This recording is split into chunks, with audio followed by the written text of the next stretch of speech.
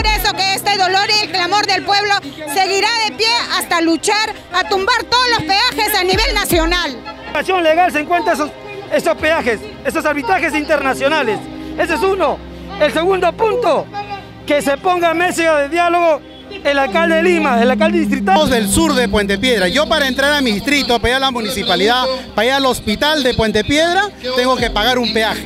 O sea, más barato me sale a mí ir a Megaplaza a que ir a nuestro propio distrito. El cobro de peaje sigue aumentando y afectando el bolsillo de los conductores y ciudadanos de Lima Norte. En un comunicado, la empresa Rutas de Lima indicó que su cobro de peaje aumentará un sol. Esto quiere decir que cada vehículo pagará 6 soles 50 a partir del 21 de febrero del 2022 calle Habla ha llegado al distrito de Puente Piedra y aquí los vecinos de Lima Norte están exigiendo un cobro excesivo del peaje de 6 soles 50.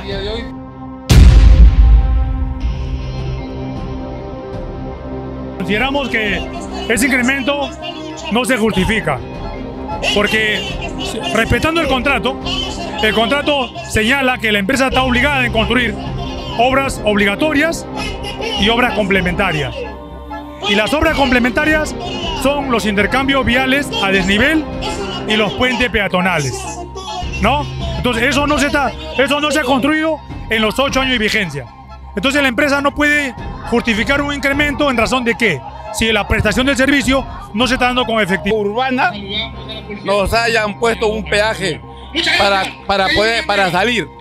Ahora, este peaje ha partido el distrito en dos porque Puente Piedra es grande y cuando la gente del norte de Puente Piedra quiere ir a la Ensenada tiene que pagar peaje y lo mismo que hace la Ensenada. Pero lo más grave es de que desde 2013 ellos vienen recaudando millones de soles y no, y no se ha invertido absolutamente nada en mejorar la Panamericana Norte. Realmente esto es un robo, una burla. Nosotros como pueblo sufrimos cuando realmente suben el peaje, suben los pasajes. Y no es justo que nosotros ganamos un sueldo mínimo y encima ahora pretenden hacer subir el peaje. ¿Y quién tiene que pagar? ¿Todos los impuestos lo paga el Estado? No, lo pagamos el pueblo. Es por eso que este dolor y el clamor del pueblo seguirá de pie hasta luchar a tumbar todos los peajes a nivel nacional. Es un cobro excesivo en una época de crisis política, crisis económica, una crisis de salud. Exactamente. Es una crisis política a la vez, porque los políticos le están haciendo la crisis económica. Y precisamente en este momento subir el peaje es algo engorroso y no cabe para el pueblo, porque el pueblo ahorita está sufriendo esta crisis política por el costo de vida que estamos pasando.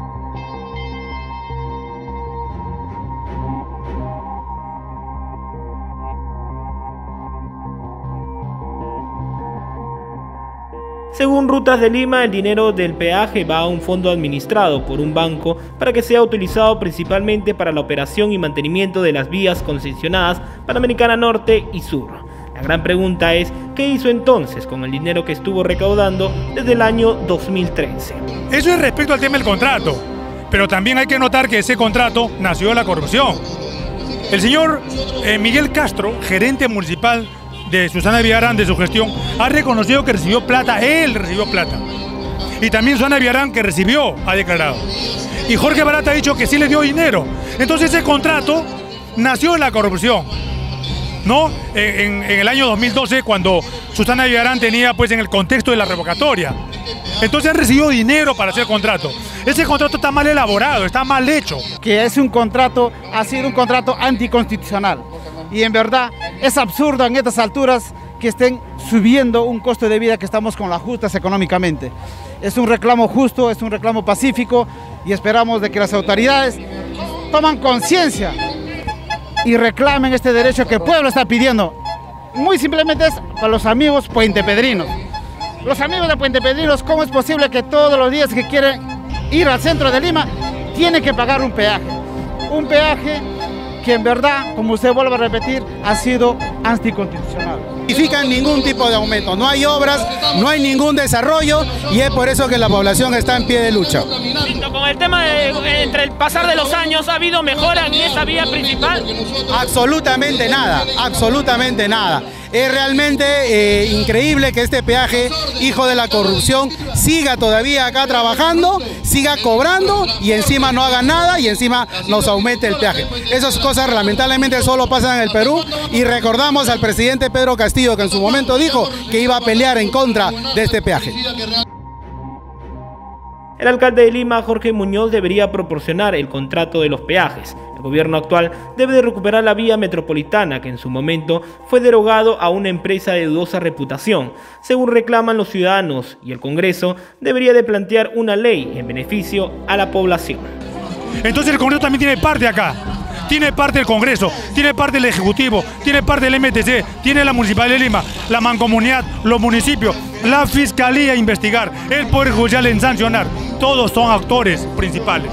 Y la población en protestar legítimamente, reclamar constitucionalmente, con base en fundamento.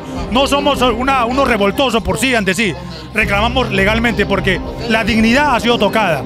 No podemos pagar la corrupción de Susana Villarán y del finado Castañeda Ocio hasta 2043. No se puede pagar la corrupción. Hay inversión, o sea, no se está retribuyendo. En el mundo en donde hay peajes, las normas son claras. Tiene que invertirse en mejorar las vías eh, donde se cobra el peaje. Tiene que invertirse en los pueblos en donde haya necesidades. Y es más, viola el reglamento internacional porque dice que cada peaje debe estar a una distancia de 100 kilómetros.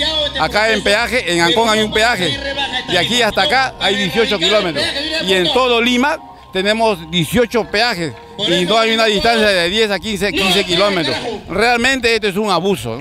Y por eso nosotros nos, levantamos y vamos a seguir siempre en esta tenaz lucha que el pueblo nos respalda y estamos seguros que vamos a lograr.